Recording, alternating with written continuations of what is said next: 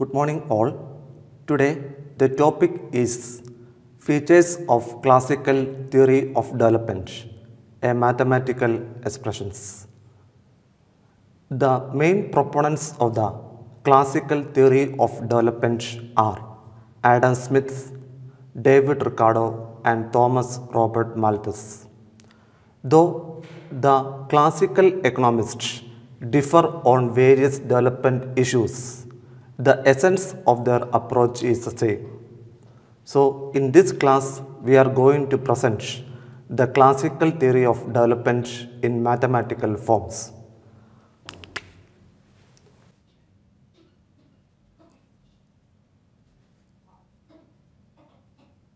So, the basic principles of the classical theory of development can be enumerated under several propositions.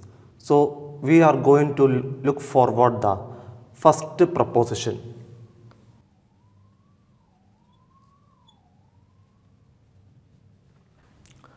According to the classical writers or the proponents, the output of an economy depends on certain factors.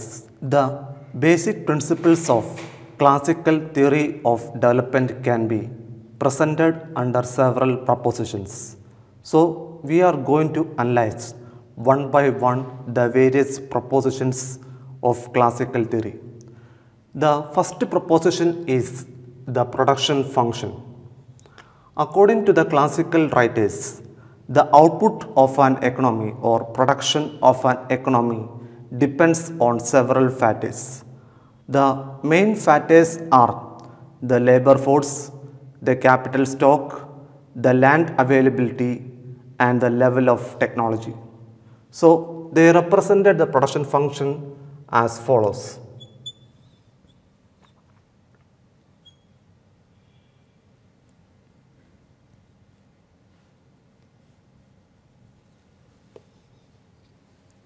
So, this is a production function. Here, Q is the output, L labor force, K denotes the capital stock,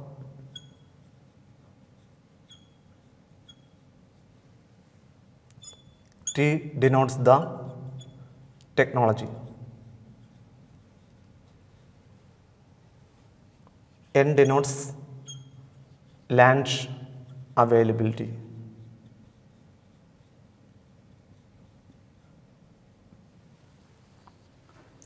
Here, out of these factors, four factors L, K, T, N, only the factor land availability is fixed one because the uh, proportion of land cannot be increased automatically. All the other factors, labor force, capital stock and level of technology can be varied in the production process. Next is about the proposition 2 that is technological progress depends on the level of investment.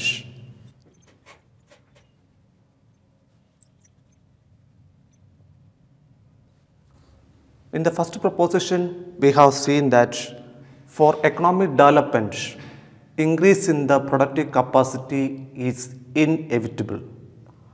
For subsequent increase in the productive capacity, technological level should be or technological application should be interpreted. So, the classical uh, writers made the mathematical equation as T equal to f of i. That is, here T denotes the technology and I denotes investment. So, this is direct relationship which shows that the level of technology depends on the level of investment.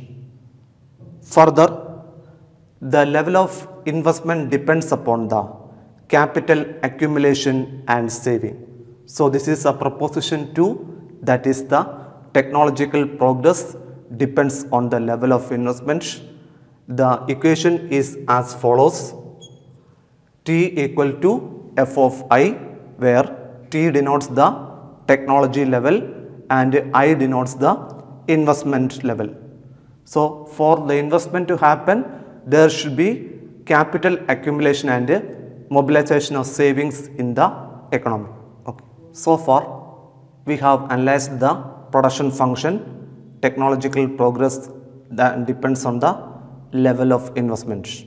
That is for the economic development to happen there should be increase in the output level and for the output or the productivity capacity to expand technological progress should be inevitable.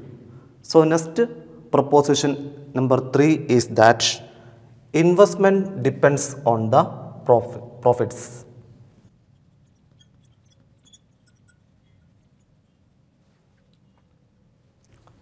So, in an economy all private and uh, foreign investments are profit motivated.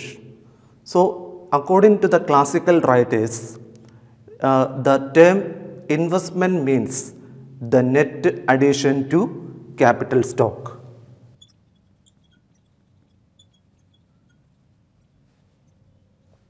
So, they combine the equation as I equal to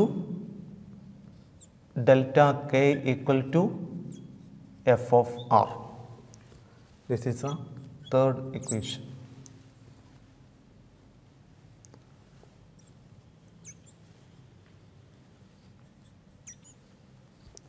So, the proposition 3 states that investment depends on the profits.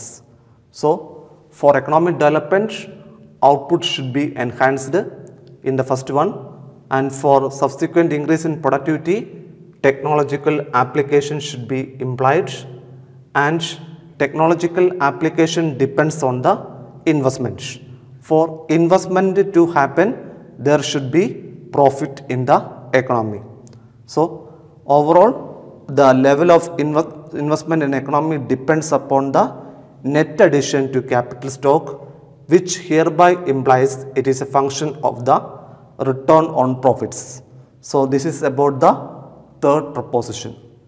Next is the proposition 4.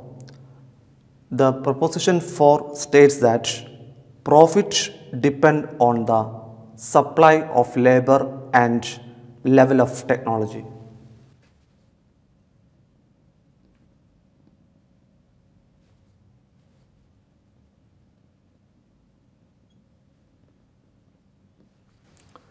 So, in the classical period, we can infer that the main economic activity is agriculture. So, as per the Malthusian theory, uh, Malthusian theory, with population growth, the demand for agricultural uh, land increases. So, this creates a burden on the agricultural land and this leads to the law of diminishing returns in agricultural fields which further raises the labor cost and lowers the profit level. So, here in the proposition 4 the classical writers introduced that profit depends upon the supply of labor and level of technology. So, they represented the equation as R equal to F of LT that is L denotes the labor supply and T denotes the technological level. So, for uh, the output to expand and for for the economy to attain economic development, population should be maintained at a stabilized level. Then only the aim of the production activity can be attained. So, this is about the proposition 4 that is profit depend on the supply of labor and level of technology. So, next is about the proposition 5 from the first proposition to the fourth proposition, we have inferred that technology is the essential criteria for the economic development or productive capacity. So, next comes the proposition number 5 which states that size of labor force depends upon the size of wage fund.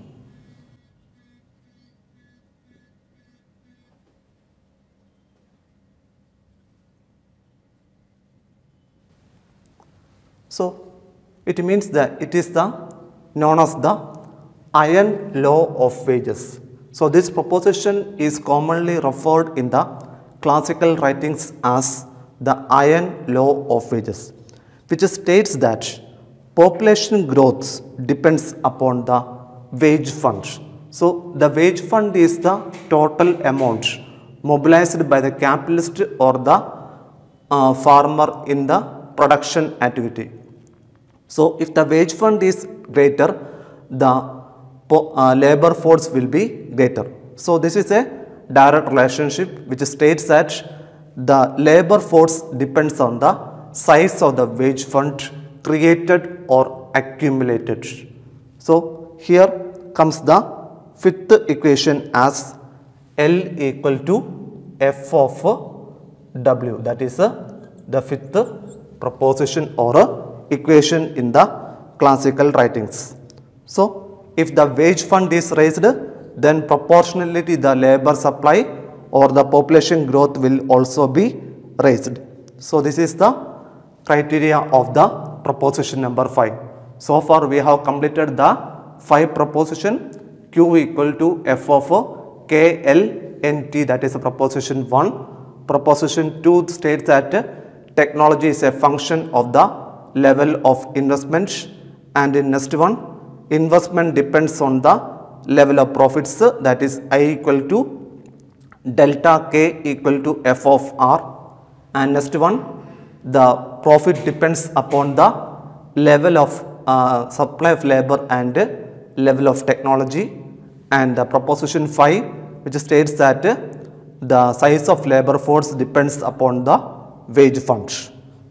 So, Next, we come across the proposition number 6 which states that size of wage fund depends upon the level of investment.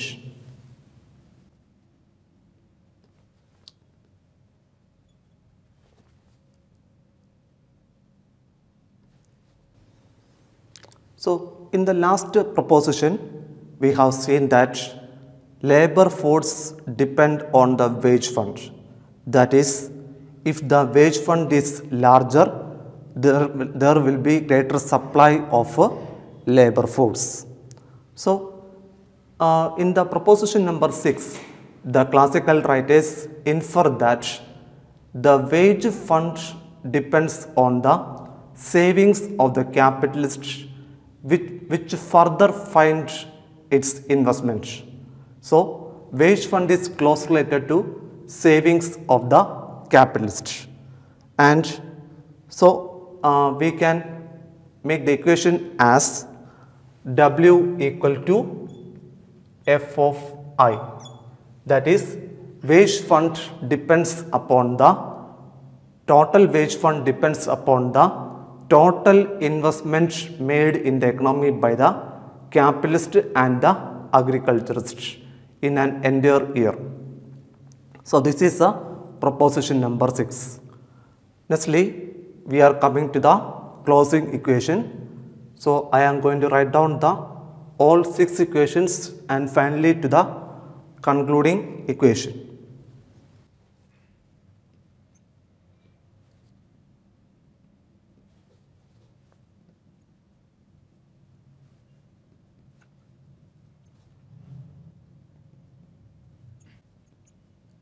So, these are the all six equations we have analyzed.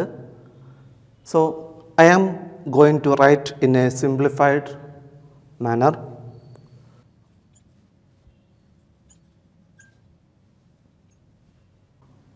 The first for economic development increase in output is inevitable.